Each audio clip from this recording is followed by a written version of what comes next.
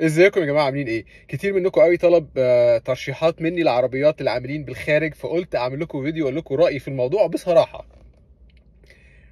طيب هو الحقيقة الموضوع مش مكلكع قوي زي ما الناس فاكرة. هو آه، يعني حسب انت بتجيب عربية ليه. لو بتجيب عربية اقتصادية وعايز تطمن من إعادة بيعها فالموضوع سهل جدا. كل اللي هتعمله حضرتك هتبص على لستة العربيات الاكثر مبيعا في مصر وتجيب زيها بالظبط. يعني إيه بالظبط؟ يعني ما تخلفش المواصفة هات نفس المواصفة بالظبط. حتى لو المواصفة دي مش أحسن حاجة بس تضمن على الأقل تلاقي لها قطع الغيار وتلاقي لها الصيانه وتلاقي لها حاجات كتيرة قوي. وتلاقي لها كمان إنها ما تبقاش إيه عربية كده واقفة مختلفة هتتباع. تمام؟ فتبقى لذيذة. طيب فلو اتكلمنا مثلا على العربيات ال- sedans ال sedans الاقتصادية ال compact sedans عندك التيبو آه، الكورولا. التيبو لما تجيب التيبو ما تجيبهاش الدوج في منها دوج أنتوا عارفين. فخليك أحسن في التيبو مضمونة. برضو بالنسبة للكورولا نفس الشيء جيب الموتور ال 1600 في منها بينزل مواتير أصغر خليكوا في الموتور ال standard تمام؟ طيب آه، لو أنا بصيت على الليسته والاكثر مبيعا هتقولي طب ما هي الساني ما زالت متربعة عرش المبيعات الأكثر مبيعا في مصر مبدئيا حضرتك مش هتلاقي الساني اللي زي دي لأن أنتوا عارفين إحنا بننتجها لغاية النهارده يعني فا okay فبلاش ساني وما تجيبش اللي بعد الساني الأجيال الجديدة لأن مش هتلاقي لها دعم خالص في مصر ومش مستاهلة الصراحة يعني. طيب برضو من العربيات اللي أنا بحبها جدا الالانترا ال CN7 هي والكورولا وال يعني دي مجموعة العربيات الحلوة وبرضو منشأها أعتقد أوروبي فممكن تاخد ال... ال... يعني ما تبقاش غالية قوي الالانترا CN7 برضو عربية كويسة قوي نجيب برضو الموتور الممل. ممكن في الحالة دي لو لقيت مثلا الموتور اللي هو ال 1600 التوربو اللي بينزلوه في التوسان مثلا ممكن تجيبه ليه؟ لأنه الموتور بناقل الحركة موجودين فما فيش برضو ال ال القصص والحاجات دي كلها تمام؟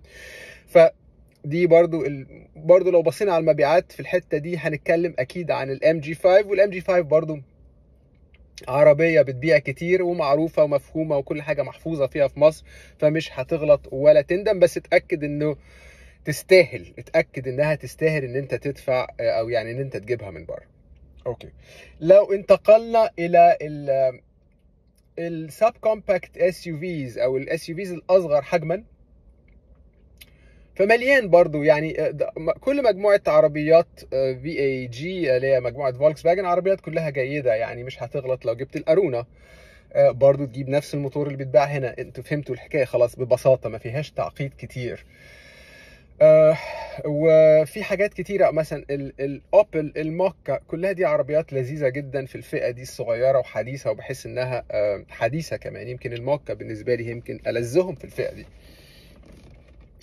طيب لو رحنا على ال SUVs ال compact طبعا الأكثر انتشارا في مصر إيه أكيد هي التوسان والسبورتج التوسان والسبورتج جيبوا الشكلين الجداد وفي مصر التوسان بتتباع بالموتور ال 1600 توربو فما فيش مشاكل. ونفس الحكاية بالنسبة للسبورتج مش هتندموا على الشكل الجديد وعلى الأقل عندك وكيل بيبيعه. طيب بالنسبة بقى اللي بيسألوا على العربيات الأغلى ال executive sedans أو ال executive compact sedan هنبتدي بي ام دبليو آه جيب بي ام دبليو وجيب اللي انت عايزه من بي إم دبليو. بي إم دبليو هيبقى ليها توكيل قريب إن شاء الله في 29 أو اللي هو هيعلنوا عنه. ومفروض إن ده هيبقى يعني خلاص عندك آه عندك حاجة تقدر تس- تستفيد من وجودها. فا okay بي ام دبليو C-Class أكيد عربية برضو مطلوبة جدا ومنتشرة جدا ومحدش بيندم ابدا على شراء المرسيدس و... وأودي. أودي أقل مبيعا منهم ولكن بقالها فترة شد حيلها نتيجة وقوع بي ام دبليو نسبيا في مصر فأودي بقالها فترة شد حيلها. طيب ألفا روميو نفس الشيء. لو عايز تجيب من بره ولقيت الحسبة كويسة جيب. وعشان تبقوا عارفين بس إن ألفا روميو آم، مؤخرا عشان بيتكلموا على ال reliability بتاعت ألفا روميو دايما بيسألوني السؤال ده عابر برضو. الاعتمادية بتاعت ألفا روميو إيه؟ ألفا روميو واخدة number 1 في J.D. Power's في أمريكا من من من كام أسبوع. J.D. Power's يعني customer satisfaction و reliability لأن هم في ال reliability ارتفعوا جدا بالمقارنة بمثيلتهم الألمانيين. الألمان. طيب العربيات الأكبر ال executive sedan ال mid-size زي المرسيدس والبي إم دبليو والأودي ال A6 مفيش غلط فيهم خالص. عربيات المرسيدس بالذات أي حد بيشتريها عمره ما بيندم على شرائها خالص وبتتباع بسهولة والعربية كويسة جدا. نفس الشيء بالنسبة لل Five Series كلها وبالنسبة برضو للأودي ال A6 عربية جميلة وبعشقها.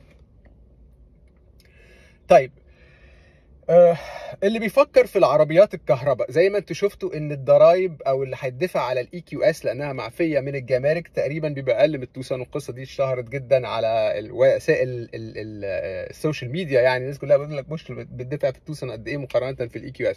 ودي حقيقة أو زيها. فالعربيات الكهرباء في المبادرة دي ممكن تبقى آه، فرصة كويسة جدا وفي عربيات كهرباء كتير ممكن تبقى مطرقعه ما تخطرش على بالكم من ضمنها البورشه تايكان. وإن كان التايكان برضو بالذات ال range بتاعها قليل قوي وإن كان العربيات الكهرباء دايما عندها الحتة بتاعت ال range anxiety اللي هو هل هي عربية وحيدة في مصر؟ ما تهيأليش لسه لازم تبقى عربية تانية. ولكن برضو ابتدوا ينتشروا وابتدينا نشوف أدينا كاديلاك وجنرال موت. يعني في حركة شوية لكن الكهرباء آه تنفع تجيبها في المبادرة وهيبقى سعرها كويس بس أعتقد هتبقى عربية تانية. ال EQS كويسة جدا ال EQE برضو كويسة جدا وكان الاثنين شكلهم زي الصابون كده إيه blob ملهاش معالم قوي لكن الشكل ده مسألة نسبية وأنت راكب مرسيدس وإحنا عندنا العقدة بتاعت هي عقدة الصراحة بتاعت مرسيدس أنا راكب مرسيدس 100 100 100 لكن أنا مش بقلل من شأنهم خالص يمكن بس التصميم بتاعهم كسول شوية. ده, رأيي.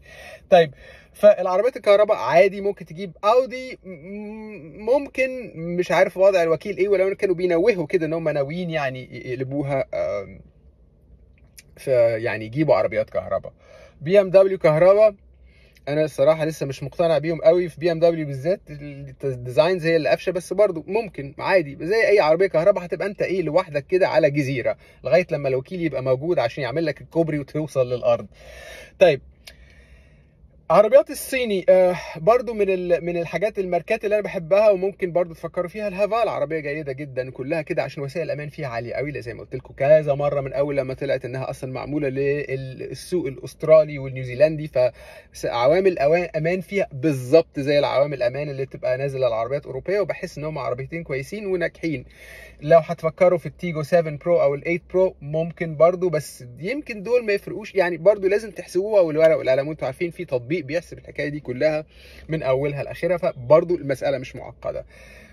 لو عايز الاختيار الآمن يبقى تشوف ببساطة العربيات الأكثر مبيعا ومش شرط وممكن ما تبقاش المحلية صنعا ودي اللي تنقي منهم مش هتندم في أي حاجة في الاتجاهات دي كلها. طبعا لو عايز تجيب عربية مطرقعة جيب عربية مطرقعة أنت ممكن تستفيد برضو.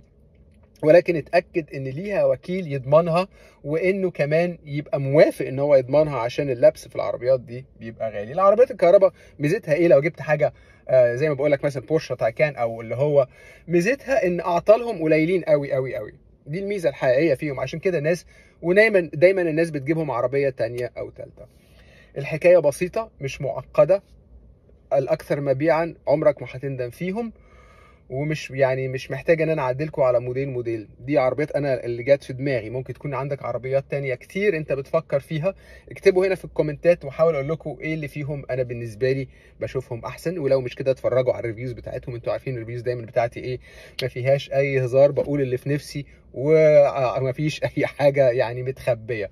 بس صباح الفل. سلام.